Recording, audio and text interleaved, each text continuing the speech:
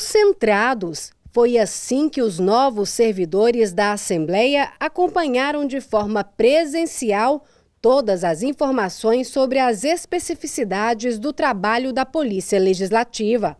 A apresentação foi feita pelo professor Léslio César, que ressaltou durante a explicação um novo pensamento sobre o que é ser de fato um policial legislativo. Embora seja considerado algo desde a Constituição de 88, a gente resolveu mostrar para eles a importância de uma visão nova, deles começarem a pensar a polícia legislativa, não só se adaptarem a um modelo já existente, algo que está sendo, às vezes, já obsoleto.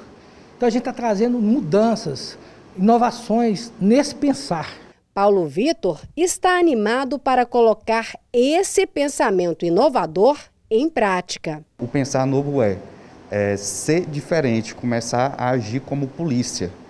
E não só espelhar como a gente espelhava apenas na, na, na polícia da Câmara e do Senado. O secretário da Polícia Legislativa acompanhou todas as orientações e disse que os servidores vão trabalhar ainda mais preparados na nova sede da Alego. Nós temos que chegar lá inovados, com equipamentos novos, com aparelhagem mais modernas, trazendo mais segurança para o Poder Legislativo. E esse pessoal que está chegando agora vai somar aos nossos colegas para que a gente possa trazer é, uma melhor segurança para casa.